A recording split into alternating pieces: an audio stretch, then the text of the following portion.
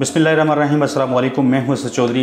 एक नई वीडियो के साथ आपकी खिदमत में हाज़िर हैं। इस वीडियो में हम बात करेंगे उस ख़त से मुतलिक जो वज़ी अजम इमरान खान ने सताईस मार्च के अपने जलसे में लहराया था। इस ख़त के हवाले से बड़ी हैपनिंग यही है कि आज ये ख़त जो है, ये कबीना के सामने पेश किया गया है। कबीना अरकान को इस हवाले से हुकूमत ने अतमाद के अंदर लिया है।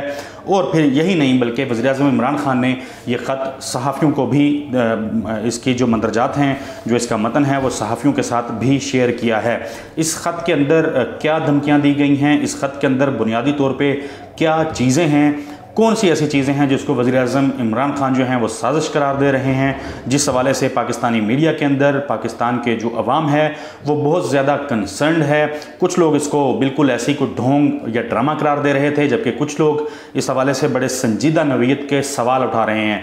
तो वज़ी अजम इमरान खान ने और उनकी टीम ने इस ख़त के हवाले से सहाफ़ियों को कौन सी चीज़ें बताई हैं, वो मैं आपके साथ इस वीडियो में शेयर करूँगा।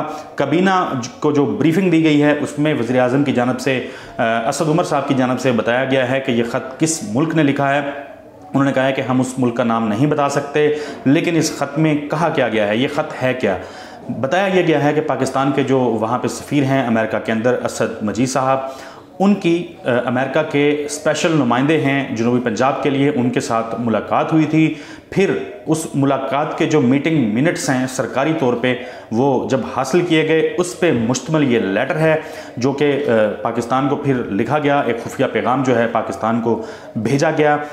इसमें बुनियादी और सबसे बड़ी चीज़ क्या है, वो ये है कि पाकिस्तान, अमेरिका जो है, वो पाकिस्तान से मौजूदा सारी सूरत हाल से खुश नहीं है। पाकिस्तान की खारजा पॉलिसी का जो मुस्तकबिल है, जो पाकिस्तान जिस खारजा पॉलिसी को फॉलो कर रहा है, कैरी कर रहा है, उससे अमेरिका को बहुत ज़्यादा तहफ़ात हैं। और ये कहा गया है कि अदम अतमाद जो है, ये पाकिस्तान में पेश होने जा रही है। ये उस मुलाकात में बताया गया कि अदम अतमाद जो है, वो पेश होनी है पाकिस्तान के अंदर। और अगर ये अदम अतमाद जो है, ये कामयाब हो जाएगी तो पाकिस्तान के बहुत से मसाइल जो हैं, वो कम हो जाएँगे। लेकिन अगर ये जो अदम अतमाद तहरीक है, ये कामयाब नहीं होती, ये नाकाम हो जाती है तो फिर अमेरिका, अमेरिकी उस नुमाइंदे की जानब से कहा गया कि पाकिस्तान को संगीन नतज जो हैं वो भुगतना पड़ेंगे। संगीन नतज भुगतने की, खौफनाक नतज भुगतने की जो धमकी है, वो दी गई।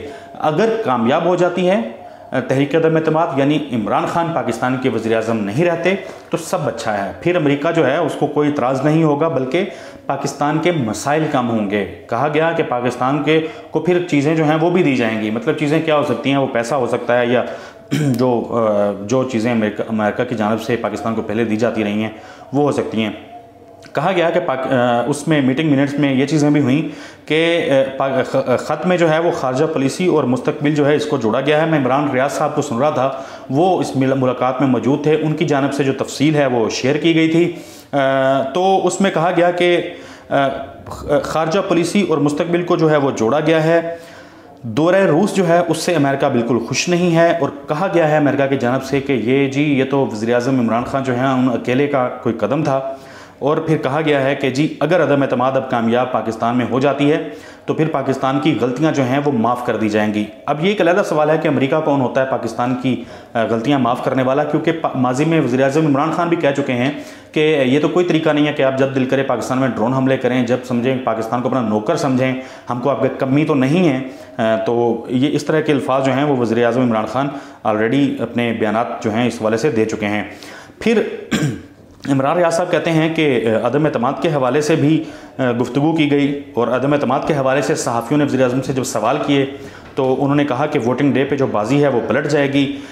इमरान रियाज साहब ये कहते हैं कि जो डॉक्यूमेंट वजी अजम इमरान खान की जानब से बताए गए, दिखाए गए या मतन उसका शेयर किया गया, वो उसको झुटलाया नहीं जा सकता। ये कोई ड्रामा नहीं है, ये कोई फेक आर्गूमेंट नहीं है, बल्कि ये एक हकीकत है, मौजूद है। और फिर उन्होंने कहा कि अतवार के रोज़ जो है टेबल टर्न होगी वजी अजम कहते हैं एक लाख लोग जो हैं वो तो अतवार को वैसे ही इस्लामाबाद पहुँच जाएँगे। इससे पहले इस मुबैना धमकी अमेज़ ख़त जो है, इसको वजी अजम ने जो है इस हवाले से आज कॉम को अतमाद में लेना था, इस पर खिताब करना था, इसके मंदरजात शायद वो कौम के साथ भी शेयर करते हैं, लेकिन उस खिताब को मुखर कर दिया गया है। ऐसा बताना है फैसल जवेद साहब का।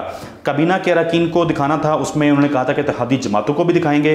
तो जब इतिहादी जमातें जो हैं, उनके नुमाइंदों से रबे किए गए, पार्लिमानी रहनमाओं से रबता किया गया तो जो खालद मकबूल सदीकी हैं, एम क्यू एम के पार्लिमानी रहनमा हैं, उनको, उनकी जानब से बताया गया कि वो मसरूफ़ हैं। वो इस अजलास में जो है, वो नहीं आ सकेंगे, जबकि जो खालद मकसी साहब हैं बलोचिस्तान अवामी पार्टी के उनकी जानब से जो है वो वजी अजम हाउस के साथ किसी किस्म का कोई रबता नहीं हो सका था, नहीं हो सका था। इस सारे हवाले से सहाफ़ी जो हैं वो बुरी तरह एक्सपोज हुए हैं क्योंकि वो कल तक ये कह रहे थे कि कोई लेटर जो है वो मौजूद ही नहीं है। ये तो सिर्फ़ ड्रामा है, ये तो कुछ है ही नहीं। लेकिन अब वो कह रहे हैं कि जब वजी अजम ने कहा कि इसको लोगों को दिखाता हूँ तो वो कह रहे हैं कि ये तो सीक्रेट एक्ट है। ये तो मसला बन जाएगा वजी अजम कैसे दिखा सकते हैं, ये तो नहीं दिखाना चाहिए। तो अजीब गरीब किस्म की जो तोजीहत हैं, वो सहाफ़ियों की तरफ़ से जो एक तर्जमान ग्रुप है अपोजिशन जमातों का, उसकी जानब से पेश की जा रही हैं। वजी अजम इमरान खान ने सुबह एक तकरीब में से खिताब किया था। उस तकरीब में उन्होंने कहा था कि यह बहुत बड़ी साजिश है। ये बल्कि साजिश से भी बड़ी साजिश है। उन्होंने कहा था कि पता चलेगा कि कौन कौन से लोग हैं इसमें और जो बाहर से साजिश कर रहे हैं। तो उन्होंने तब ऐलान किया था कि ये सहाफ़ियों के साथ वो शेयर करेंगे। तो उन्होंने कहा था कि ये ख़त जो है, ये इम्पोर्टेड क्राइसिस है। फ़ॉरन इम्पोर्टेड क्राइसिस है और ये ख़त साजिश से बड़ी साजिश है। लोग अनजाने में इसका हिस्सा बन रहे हैं। हम पे शक किया जा रहा है कि शायद हम हुकूमत बचाने के लिए ये सब कुछ कर रहे हैं। जिन लोगों ने जो फैसला करना है, इससे पहले सोच लें, कहीं आप साजिश का हिस्सा ना बन जाएँ। फिर वजी अजम ने कहा कि मुल्क में सियासी बहरान नई चीज़ नहीं है। सियासी बहरान मुल्कों में आते रहते हैं। तहरीक अदम अतमाद जो है, वो बड़ा जमहूरी और आइनी तरीका है। लेकिन उन्होंने कहा कि जो मेरे खिलाफ तहरीक अदम अतमाद आई है, ये कोई नॉर्मल नहीं है, ये कोई फितरी नहीं है, बल्कि ये बनाई गई है, तैयार की गई है, ये एक साजिश है जो पाकिस्तान से बाहर जिसको तैयार किया गया है। तो वो कहते हैं कि उस वक्त से हो रही है जब से एक फ़ोन कॉल होती है। उनको बर्दाश्त नहीं कि पाकिस्तान अपने मुल्क, बल्कि उन्होंने कहा कि पाकिस्तान के खिलाफ बाहर से साजिश हो रही है। ये उस वक्त से हो रही है जब से बाहर से एक फ़ोन कॉल होती है। उनको बर्दाश्त नहीं कि पाकिस्तान अपने मुल्क के मफाद के लिए काम करे। ये चाहते हैं लीडरशिप जो है अपने मुल्की मफादात का सौदा करे।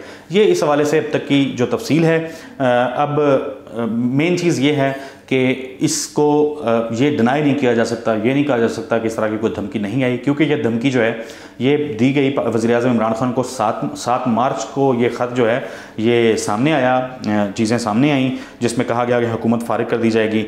तो अगर ना हुई तो फिर इसके पाकिस्तान के लिए बड़े, जो खौफनाक नतज हैं वो होंगे। तो लोग इस पर फिर उंगलियाँ उठा रहे थे तो फिर बताया गया आज गया है। मेरी खुद कुछ लोगों से बात हुई तो उनका कहना था कि सी इजलास की वजह से इस ख़त को शेयर नहीं किया गया था। तेईस मार्च के बाद फिर ये मामला जो है, ये सामने आया और तब से ही वजी अजम ने फिर फैसला किया कि इसको जब जलसा होगा तो उसमें मैं ये चीज़ें सारी कौम के सामने लेके आऊँगा। फिर उसका कुछ कंटेंट था जो उन्होंने शेयर किया। आज उन्होंने कौम से खिताब करना था, वो उनको रोक दिया गया, लेकिन अब ये बड़ी संगीन सूरत हाल है। इस इस सारी जो पेशरफ है, इसको देख के अंदाज़ा लगाया जा सकता है कि पाकिस्तान की हकूमत जो है, उसको गिराने के लिए किस तरह की चीज़ें, किस तरह की चालें चली जा रही हैं। कौन होता है अमेरिका? पाकिस्तान की हुकूमतें गिराने वाला या बनाने वाला? और मैं समझता हूँ कि जो पाकिस्तान के स्टेक होल्डर्स हैं, अदारे हैं पाकिस्तान के, जो पाकिस्तान के पार्लियामेंटेरियंस हैं, जो पाकिस्तान की सियासी जमातें हैं एटलीस्ट इस तरह के मामले के ऊपर आगे उनको इकट्ठा हो जाना चाहिए था। जो बदकिस्मती से नहीं हुआ, जो हुकूमत ने भी मिस डील किया, जिसको वजी अजम को भी चाहिए था कि वो टाइमली अपोजिशन जमातों को बताते, अपने नुमाइंदे भेजते, उनके पास उनको बताते कि हमारे खिलाफ साजिश हो रही है, लेकिन उनकी जानब से भी ऐसा नहीं किया गया। तो ये एक एक डिटेल है जो वजी अजम इमरान खान की जानब से आज कैबिनेट को और सहाफ़ियों को बताई गई है। पार्लियामेंट का कौमी सलामती का इन कैमरा सेशन है, वो तलब कर लिया गया है। कल उसके ऊपर असद उमर साहब या शाह महमूद क्रैशी साहब जो हैं, वो इस पर ब्रीफिंग देंगे। ये अब तक की इस ख़त के हवाले से डिटेल्स हैं, वो मैं आपके साथ शेयर कर चुका हूँ। मज़ीद जब चीज़ें आएँगी तो आपके साथ शेयर करेंगे। तब तक के लिए मुझे दीजिए इजाज़त। अल्लाह हाफिज़।